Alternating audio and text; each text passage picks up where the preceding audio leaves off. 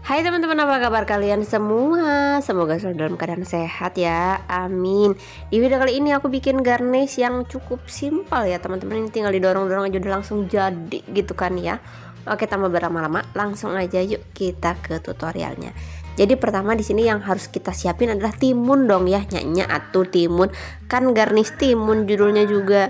Jadi pertama siapin timun yang uh, sedang atau yang besar boleh terus yang masih seger gitu ya teman-teman. Terus kita ambil pisau garis yang bentuknya V. Didorong-dorong aja udah langsung jadi gitu kan ya ini mah. Nah sebelum dibentuk selanjutnya jadi di sini aku rendam dulu sebentar supaya merekah. Nah kan sling gitu. Jadi kayak sulap ya udah langsung mekar. Setelah itu bagian depannya tuh dikikis dulu bagian yang tidak terpakai dibuangin ya teman-teman. Tarik-tarik nih seperti ini jadi hati-hati. Nariknya jangan sampai kelopak yang udah kita bentuk ikut tarik gitu kan ya. Nah pelan-pelan aja. Setelah udah jadi semuanya di sini untuk bagian depannya di, mau dibikin kayak bunga mawar ceritanya. Aku tuh pengen bikin dua layer tapi sayangnya uh, apa namanya kena ke biji gitu kayak nanti tuh nggak bisa jadi dua layar lah pokoknya jadinya tuh satu layar aja. Jadi bikinnya tuh kayak bunga mawar kayak gitu teman-teman ya. Dibikin dulu kelopak pertama setelah itu kikis bagian depannya. Terus rapikan dulu bagian sampingnya setelah itu dibikin kelopak gitu ya teman-teman. Dan terus seperti itu sampai akhir. Ini aku bikin sekitar 5 kelopak lah ya teman-teman. Ini tuh bisa dijadiin untuk hiasan tumpeng. Ini termasuk salah satu garnish yang sat-set-sat gitu kan ya. Bukan yang ribet banget bukan.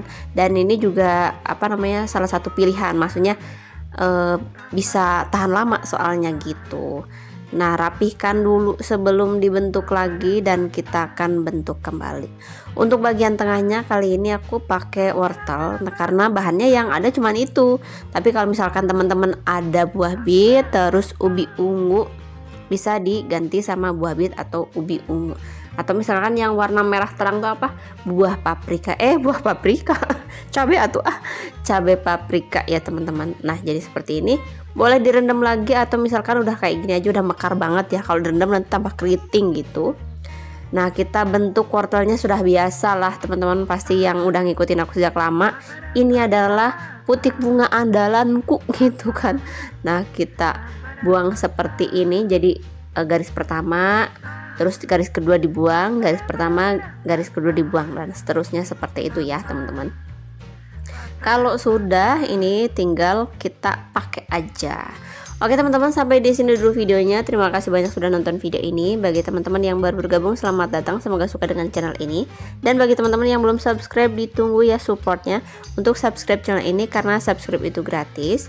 Di share sebanyak-banyaknya agar yang lain jadi tahu. Kemudian kalau teman-teman suka dengan video ini jangan lupa untuk like, komen, nyalakan juga tombol loncengnya agar teman-teman tahu kalau aku upload video baru. Sampai bertemu lagi di video aku berikutnya. Terima kasih.